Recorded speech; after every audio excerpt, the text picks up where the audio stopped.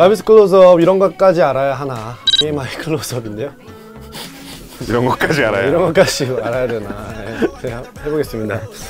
어, 인스타그램 뭐 올릴 때 몇 장 찍어서 올리시나요? 아, 오, 몇장 찍어서 아 건지시는지. 이렇게 훅 들어오네.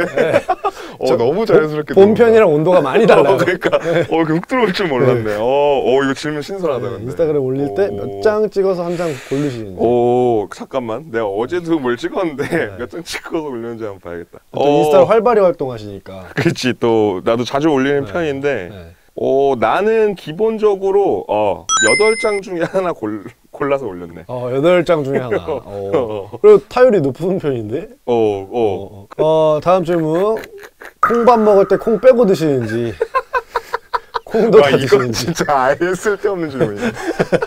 이런 것까지 알아야 어. 이렇게 네. 이것까지 내가 말해야 되나? 이거 알려줘야 되냐 어, 약간 내가 이런 이거를 느낌. 사람들이 궁금해하는지도 모르겠고 콩밥을 먹은 지가 오래됐는데 나는 콩을 다 먹어. 잘 먹는 편이다 네. 어, 이, 지- 이 질문 뭐 먹길래? 양, 양치하실 때 위- 윗니만 닦으셔가지고 어. 아랫니가 서운하다던데 이게 뭔 소리야? 이게 뭐야?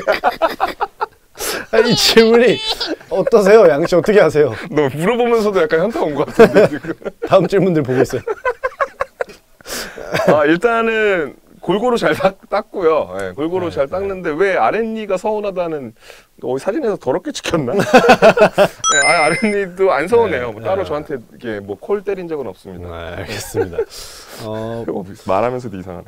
씻을 때 어디 먼저 씻는지 아 뭐 머리를 먼저 감으시는지 아니면 뭐 아니 뭐 사타구니 묻 물은 약간 아래쪽을 먼저 이렇게 쓱 하는 것 같거든.